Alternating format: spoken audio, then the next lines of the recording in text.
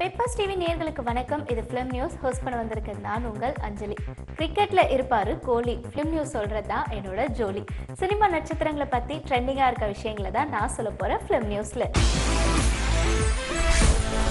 அறிமுக இயக்குனர் படத்துல நடிக்க போறாரா விஜய் சேதுபதி? விஜய் சேதுபதியோட நடிப்புல ஏற்கனவே நாலு படங்கள் இப்போ ரிலீஸுக்கு காத்துக்கிட்டு இருக்கு. செக்கச்சிவந்த வானம் தொண்ணூத்தி ஆறு சூப்பர் டீலக்ஸ் சீதகாதி படங்கள். ஸோ இந்த மாதிரி படங்களை தொடர்ந்து அடுத்தபடியா பாத்தீங்கன்னா விஜய் சேதுபதி இப்போ ஒரு புதுமுக டைரக்டர் கூட தான் இணைய போறாராம் வழக்கமா இவ்வளோ நாள் நடிச்சிட்டு இருந்த படங்கள் எல்லாருமே ஏற்கனவே இருந்த டைரக்டர்ஸ் கூட. ஸோ இப்போ ஃபர்ஸ்ட் டைமா விஜய் சேதுபதி அறிமுக இயக்குனர் படத்துல நடிக்க போறாரு. இந்த படத்துல முழுக்க முழுக்க தன்னோட தோற்றத்தையே மாற்ற போறாராம். அது மட்டும் இல்லாம ஏற்கனவே பார்த்தீங்கன்னா சீதகாதி படத்துலேயும் ரொம்பவே வித்தியாசமான கேரக்டரில் தான் நடிக்கிறாரு.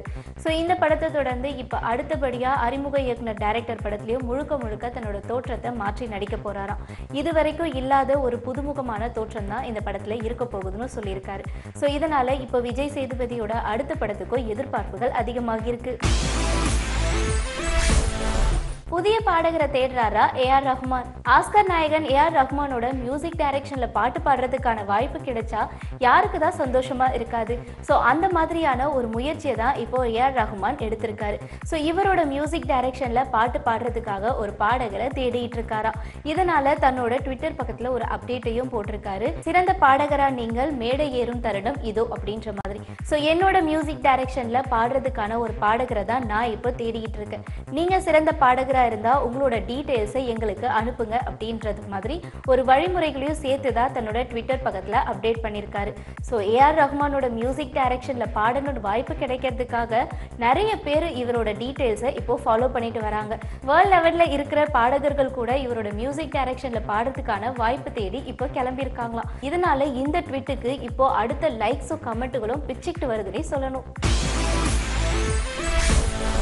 ஃபேமஸ் ஆகிட்டு வருது த்ரிஷா இல்லனா நயன்தாரா டூ படத்தோட first look poster Adhik Ravichandran டைரக்ஷன்ல ஜிவி பிரகாஷ் நடிச்சிருந்த படம் த்ரிஷா இல்லனா நயன்தாரா.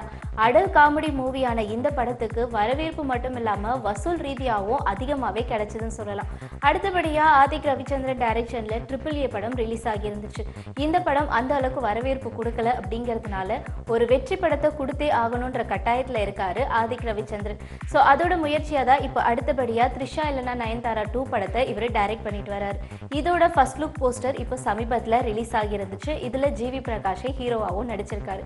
ஸோ இந்த ஃபர்ஸ்ட் லுக் போஸ்டருக்கு இப்போ அதிகப்படியான வரவேற்புகளும் கிடைச்சிருக்கு. ஸோ இதனால ஆதிக் ரவிச்சந்திரன் டைரக்ஷனில் உருவாகிட்டு இருந்த இந்த படத்துக்கு இப்போ எதிர்பார்ப்புகளும் அதிகமாக இருக்கு யங்ஸ்டர்ஸ் மத்தியில். பாடகரா மாறி இருக்காரு நடிகர் ஜெய்.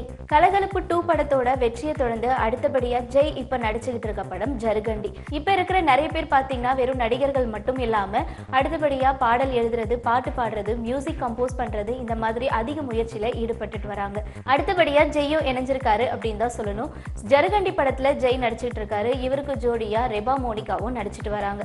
ஸோ இந்த படத்தோட டீசர் ஏற்கனவே ரிலீஸ் ஆகி ரசிகர்கள் கிட்ட நல்ல வரவேற்பு கொடுத்திருந்துச்சு. அடுத்தபடியா இப்போ இந்த படத்துல ஒரு பாடலை பாடி பாடகரா அறிமுகமாக போறாரா நடிகர் ஜெய். இது கங்கை அமரனோட வரிகள்ல இருக்கிற பாடல். ஸோ இந்த பாட்டு கண்டிப்பா ரசிகர்கள் கிட்ட நிறையவே ஹிட் ஆகும் அப்படின்ற ஒரு நம்பிக்கையிலயும் இருக்காரா நடிகர் ஜெய்? நாய் பொழப்பு சார்னு சொல்லி மாட்டியிருக்காரு சந்தோஷ் சிவன். ஒளிப்பதிவாளரான சந்தோஷ் சிவன் இந்த மாதிரி அடிக்கடி ஏதாவது ஒரு விஷயங்களை மாட்டி சர்ச்சைகளை ஆளாவது வழக்கம் தான். அதே மாதிரி தான் தயாரிப்பாளர்களை பத்தியும் ஒரு ட்விட்டர் போட்டிருந்தாரு. இந்த ட்விட்டர் ரசிகர்கள் கிட்ட இமிடியட்டா பரவுனதால இப்போ சர்ச்சையிலையும் மாட்டியிருக்காரு. ஸோ இவர் சொன்ன விஷயங்கள் என்ன அப்படின்னு பார்த்தீங்கன்னா இந்த தயாரிப்பாளர்கள் நடிகைகளுக்கு சம்பளம் கொடுக்கும் போது மட்டும் மூஞ்ச சிரிச்ச மாதிரியே சந்தோஷமா வச்சுட்டு கொடுக்குறாங்க. இதே இந்த மாதிரி தொழில்நுட்ப கலைஞர்களுக்கு சம்பளம் கொடுக்கணும் அப்படின்னா முகத்தை உருன்னு வச்சுட்டே கொடுக்குறாங்க அப்படின்ற மாதிரி ஒரு ட்விட்டை தான் சமீபத்தில் மீம்ஸாக போட்டிருந்தாரு. ஸோ இந்த மீம்ஸ் இமிடியட்டாக எல்லார் சைட்லேயும் பரவ நிறைய பேர் இதுக்கு எதிர்ப்பையும் தெரிவிச்சிருந்தாங்க. ஸோ இதனால சந்தோஷ் சிவன் அந்த ட்விட்டை இமிடியட்டாக நீக்கவும் செஞ்சிருந்தாரு. ஸோ இது யாருடைய மனசையோ காயப்படுத்துறதுக்காக போடலை ஜஸ்ட் ஒரு ஃபன்னாக தான் போட்டேன் அப்படின்னு சொல்லி மன்னிப்பையும் கேட்டிருக்காரு சந்தோஷ் சிவன் மூன்று கதாநாயகிகள்ல ஒருத்தரா நடிக்கிறாங்களாம் இனியா தமிழ் சினிமா உலகத்துக்கு அறிமுகமாகி அடுத்தபடியா வாகை சுடவா படத்து மூலயமா எல்லாருக்குமே பிரபலமானவங்க தான் இனியா. அதுக்கு அடுத்தபடியா இவங்க நடிச்சிருந்த அம்மாவின் கைபேசி அண்ட் மாசாணி உள்ளிட்ட படங்களும் இவங்களுக்கு நல்ல பிரபலத்தையும் கொடுத்திருந்துச்சு. இந்த படத்தை தொடர்ந்து இப்ப அடுத்தபடியா மூன்று நாயகிகள்ல ஒருத்தரா நடிக்கிறாங்களா இனியா. சிவராஜ்குமார் ஏற்கனவே நடிச்சிருந்த இந்த படத்தோட பார்ட் டூ தான் ட்ரோமா டூ. இந்த படத்துல மூன்று நாயகிகள்ல ஒருத்தரா இனியா நடிக்கிறாங்க. ஸோ இந்த படமும் தனக்கு ஒரு நல்ல வரவேற்பு கொடுக்கும்ன்ற நம்பிக்கையில இருக்காங்களாம் இனியா ட்ரோமா படத்தோட பார்ட் டூ மட்டும் இல்லாம மலையாளத்திலயும் ரெண்டு படங்கள்ல நடிச்சிட்டு வராங்க. ஏற்கனவே இனியா நடிச்சிருந்த பொட்டு படமும் இப்போ கூடிய சீக்கிரத்துல ரிலீஸுக்கும் காத்துக்கிட்டு இருக்கு. கோபி நயனார் டைரக்ஷன்ல நடிக்கிறாங்களா? ஜெய் அண்ட் ஐஸ்வர்யா ராஜேஷ். அறம் படத்து மூலயமா பேசப்படுற இயக்குனரா மாறினவர் தான் கோபி நயனார். குறும்படங்களை டைரக்ட் பண்ணிட்டு இருந்த இவர் முதல் முறையா நயன்தாராவை வச்சு எடுத்த படம் தான் அறம். இந்த படம் ரசிகர்கள் கிட்ட வரவேற்பு மட்டும் இல்லாம வசூல் ரீதியாகவும் நல்ல வரவேற்பு கொடுத்திருந்துச்சு. கூடிய சீக்கிரத்துல அறம் படத்தோட பார்ட் டூவை எடுக்க போறதா சொல்லியிருந்தாரு கோபி நயனார். அதுல நயன்தாராவே ஹீரோயினாவும் நடிக்கிறாங்க அப்படின்ற மாதிரி ஏற்கனவே சொல்லியிருந்தாங்க. இப்போ நயன்தாரா நிறைய படங்கள்ல பிஸியா நடிச்சிட்டு இருக்கிறதுனால இதுக்கிடையில கோபி நாயனார் இன்னொரு படத்தை டைரக்ட் பண்ணுற முயற்சியில் இருக்காரு. ஸோ இதில் பார்த்தீங்கன்னா ஜெய் அண்ட் ஐஸ்வர்யா ராஜேஷ் இவங்க ரெண்டு பேர் தான் நடிக்கிறாங்க. ஸோ இந்த படத்தில் ஜெய் ஒரு விளையாட்டு வீரனாக நடிக்கிறாரா? அது மட்டும் இல்லாமல் வெளிநாட்டிலேருந்து தமிழகத்துக்கு வந்தவங்க தமிழ் மக்களால் எப்படி நசுக்கப்படுறாங்க அப்படின்றதான். இதன் மூலயமா தமிழர்கள் தன்னோட அடையாளத்தையும் எப்படி மாற்றிக்கிறாங்க அப்படின்ற கதையை சொல்கிற மாதிரி தான் இருக்கா இந்த படம். ஸோ நிச்சயமாக ஜெய் மட்டும் இல்லாமல் ஐஸ்வர்யா ராஜேஷ்க்கும் இந்த படம் ஒரு முக்கியமான படமாக இருக்கணும்ன்ற நம்பிக்கையில் இருக்காங்க படக்குழுவின் பிரபலமாகிட்டு வருது சார்லி சாப்ளின் பார்ட் டூவோட பாடல். கிட்டத்தட்ட பல வருஷங்களுக்கு முன்னாடி பிரபு பிரபுதேவா அபிராமி இவங்க எல்லாமே நடிச்சு வெளிவந்திருந்த படம் சார்லி சாப்ளின். இந்த படம் நகைச்சுவை கலந்த படமா இருந்ததுனால வெற்றி படமாகவும் அமைஞ்சிருந்துச்சு. இந்த வெற்றி படம் அடுத்தபடியா தெலுங்கு கன்னடம் மலையாளம் இந்த மாதிரி நிறைய லாங்குவேஜ்லயும் ரிலீஸ் பண்ணியிருந்தாங்க. இப்போ பல வருஷத்துக்கு அப்புறம் இந்த படத்தோட பார்ட் டூ இப்போ உருவாகிட்டு வருது. இதுல பிரபுதேவா நிக்கி கல்ராணி அரா சர்மா இவங்க எல்லாருமே நடிச்சிட்டு வராங்க. இந்த படத்துல இருந்து சமீபத்துல ஒரு பாடலும் ரிலீஸ் ஆகி இப்போ நல்ல வரவேற்பு ஒத்துழைப்பையும் கொடுத்துட்டு வருது. பிரபல நாட்டுப்புற பாடகரான செந்தில் கணேஷ் ராஜலட்சுமி இவங்களோட குரல்ல தான் இந்த பாடல் இப்போ ஒளிபரப்பாகிட்டு வருது. சின்ன மச்சான் அப்படின்ற வரிகள்ல ஆரம்பிக்கிற இந்த பாடல் இப்ப ரசிகர்கள் கிட்ட அதிக ட்ரெண்டிங்காவும் மாறிட்டு இருக்கு. மாரி டூ படத்தோட டப்பிங்கையும் முடிச்சிட்டேன்னு சொல்லியிருக்காங்க. வரலட்சுமி. பேசப்படுற கதாநாயகிகள்ல இப்போ ஒருத்தரா மாறிட்டு வராங்க வரலட்சுமி. வெறும் ஹீரோயினா மட்டும்தான் நடிப்பேன்றது மட்டும் இல்லாம கொடுக்குற கதாபாத்திரத்தை ரொம்பவே சிறப்பா நடிச்சிட்டு வரவங்கன்னு சொல்லலாம். இவங்க இப்போ சர்க்கார் படத்துல ஏற்கனவே நடிச்சு முடிச்சு தன்னோட டப்பிங் ஒர்க்கையும் முடிச்சிட்டாங்க. ஸோ இப்போ அடுத்தபடியா தனுஷோட மாரி டூ படத்திலேயே ஒரு முக்கியமான கதாபாத்திரத்துல நடிச்சிருக்காங்க. ஸோ இப்போ இந்த படத்தோட டப்பிங்கையும் முடிச்சுட்டேன் அப்படின்னு சொல்லிட்டு தன்னோட ட்விட்டர் பக்கத்துல அப்டேட் பண்ணியிருக்காங்க. வழக்கமா தான் செய்யற வேலைகள் எல்லாம் இமிடியட்டா இவங்க ட்விட்டர் பக்கத்தில் அப்டேட் பண்ணிட்டு ரொம்பவே ஆக்டிவாகவும் இருந்துட்டு வராங்க.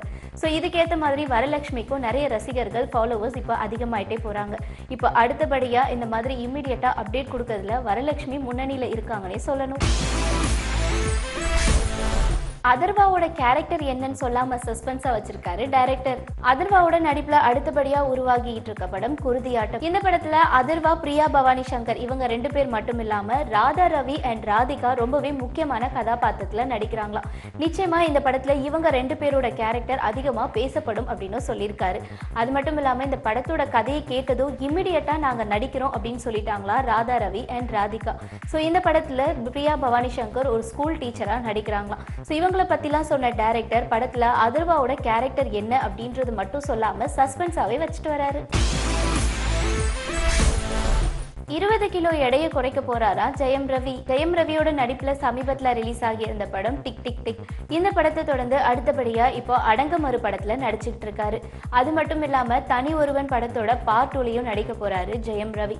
ஸோ இந்த படங்களை தொடர்ந்து அடுத்தபடியா இப்போ இருபது கிலோ எடையை குறைக்க போறேன் அப்படின்ற மாதிரி தான் இப்போ சொல்லிட்டு வராங்க.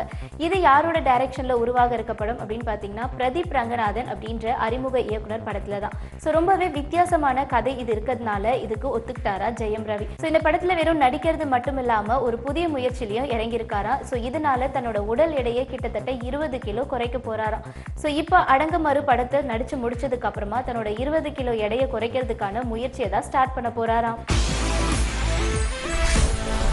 சமந்தா மாதிரியே ஒரே நாளில் ரெண்டு படத்தை ரிலீஸ் பண்ணியிருக்காங்க. மலையாளத்தில் ஒரு நடிகை. தமிழ் சினிமாவில் ஒரே நாளில் ரெண்டு படத்தை ரிலீஸ் பண்ணியிருக்க ஒரு நடிகைனா சமந்தா தான். ஸோ இவங்களோட நடிப்பில் பார்த்தீங்கன்னா சீமராஜா அண்ட் யூட்டன் ரெண்டு படமும் ஒரே நாளில் ரிலீஸ் ஆகி நல்ல வரவேற்பை கொடுத்துட்டு வருது சமந்தாவுக்கு. இதே மாதிரி மலையாளத்திலேயே ஒரு நடிகை இப்போ ஒரே நாளில் ரெண்டு படத்தில் ரிலீஸ் ஆகியிருக்காங்க. ஸோ இவங்க யார் அப்படின்னு பார்த்தீங்கன்னா அனு சித்தாரா. இவங்க பார்த்தீங்கன்னா படையோட்டம் அப்படின்ற படத்தில் தனி ஹீரோயினா நடிச்சிருக்காங்க. அண்ட் மம்முட்டியோட ஒரு குட்டநாடன் பிளாக் அப்படின்ற படத்துலையும் நடிச்சிருக்காங்க. இந்த ரெண்டு படங்களும் பாத்தீங்கன்னா ஒரே நாள்ல தான் ரிலீஸ் ஆகியிருக்கு. ஸோ இதனால மலையாள திரையுலகத்துல அனு சித்தாரா இப்போ பேசப்படுற நடிகையாவும் மாறிட்டு வராங்களாம். தமிழ்ல எப்படி சமந்தா இப்போ ஹிட் ஆயிட்டு வராங்களோ அதே மாதிரி மலையாளத்துல அனு சித்தாராவும் அடுத்தடுத்த படங்களை கொடுத்துட்டு வராங்க. சிருஷ்டி டாங்கோவோட படம் பூஜையோட ஆரம்பிச்சிருக்கு. ஸ்பைசி கிளவுட் என்டர்டைன்மெண்ட் சார்பா அடுத்தபடியா உருவாகிட்டு இருக்க படம் தான் அர்ஜுனா. இந்த படத்துல விஜய் சந்தோஷ் அப்படின்றவர் ஹீரோவா அறிமுகமாக இருக்காரு. இவருக்கு ஜோடியா சிருஷ்டி டாங்கோ நடிக்கிறாங்க. இந்த படத்துல பாலசரவணன் முட்டை ராஜேந்திரன் நாசர் இவங்க எல்லாமும் முக்கியமான கதாபாத்திரத்துல நடிக்கிறாங்களாம் இந்த படத்தோட பூஜை தான் சமீபத்துல தொடங்கியிருந்தாங்க. இந்த பூஜையை கே. பாக்யராஜ் பாத்தீங்கன்னா கிளாப்போட தொடங்கி வச்சிருக்காரு. தமிழ் தெலுங்குல ஒரே நேரத்துல ரிலீஸ் ஆகக்கூடிய இந்த படத்தோட ஷூட்டிங்கும் இப்ப சக்சஸ்ஃபுல்லா ஆரம்பிச்சிருக்காங்க. banget. மஹிமா நம்பியாருக்கு இப்படி ஒரு ஆசை இருக்கா? அண்ணனுக்கு ஜெய் படத்து மூலியமா இப்போ நடிச்சு பிரபலமாகிட்டு வராங்க மஹிமா நம்பியார். அடுத்தபடியா விக்ரம் பிரபுக்கு ஜோடியா அசுரகுரு படத்துல நடிக்கிறாங்க. அண்ட் ஜிவி பிரகாஷ்க்கு ஜோடியா ஐயங்காரன் படத்துலயும் நடிச்சிட்டு வராங்க. இது மட்டும் இல்லாம தமிழ் தெலுங்கு மலையாளம் மூன்று லாங்குவேஜ்லயும் உருவாகிட்டு இருக்க கிட்னா படத்துலயும் நடிச்சுக்கிட்டு இருக்காங்க. இதை தொடர்ந்து இவங்க தன்னோட படிப்பையும் தொடர்ந்துட்டே வராங்க. நடிப்புல ஒரு பக்கம் படிப்புல இன்னொரு பக்கம் கான்சென்ட்ரேஷன் ரெண்டு விஷயத்தையும் ஒரே நேரத்துல பண்ணிட்டு வராங்க. ஸோ இவங்க பாத்தீங்கன்னா முறையா கிளாசிக் டான்ஸும் கத்துக்கிட்டு இருக்காங்களா ஆனா இது வரைக்கும் நடிச்சுக்கிட்டு இருக்க படங்கள்ல எதுலையுமே கரெக்டா நல்லா டான்ஸ் ஆடுற மாதிரி வாய்ப்பு இவங்களுக்கு கிடைக்கவே இல்லையா? ஸோ மஹிமா நம்பியாருக்கு நல்லா எனர்ஜியோட ஒரு குத்து பாடலுக்கு ஆடணும் அப்படிங்கிறது தான் ஒரு பெரிய ஆசையா இப்போதைக்கு இருக்கான் தமிழ்ல நடிக்க போறாங்களா சம்யுக்தா? ஹெக்டே. அறிமுக இயக்குனரான தேவோட டைரக்ஷன்லயா உருவாகிட்டு இருக்க படம் தான் பப்பி. ஸோ இந்த படத்து மூலியமா தான் கன்னட நடிகையான சம்யுக்தா ஹெக்டே இப்போ தமிழுக்கு வரப்போறாங்க. காக்கா முட்டை படத்தை டைரக்ட் பண்ணியிருந்த மணிகண்டன் கிட்ட அசிஸ்டன்ட் டைரக்டரா ஒர்க் பண்ணவர் தான் இந்த தே. ஸோ இவரோட டைரக்ஷன்ல தான் அடுத்தபடியா இந்த பப்பி படம் உருவாகிட்டு இருக்கு. ஸோ டைட்டிலுக்கு ஏத்த மாதிரியே ஒரு நாயை மையமா வச்சு தான் இந்த படத்தோட கதையும் ரன் ஆகுதான். ஸோ இந்த படத்துக்காக பார்த்தீங்கன்னா ஏற்கனவே கதையை கிளியரா கேட்டதுனால சம்யுக்தா ஹெக்டே ப்ராம்ப்டிங்கே இல்லாம டைலாக்லயும் பேசிட்டு வராங்களாம். நிறைய விஷயங்களை இன்னைக்கும் கேட்டு தெரிஞ்சிருப்பீங்க. சினிமா நட்சத்திரங்களை பத்தி இன்னும் அப்டேட்டடான நியூஸோட நான் உங்களை வந்து சந்திக்கிறேன். ஃபிலிம் நியூஸ் சொல்றதா ட்ரெண்டு இந்த நிகழ்ச்சிக்கு இல்லவே இல்லை and till then it's bye bye see you from Anjali.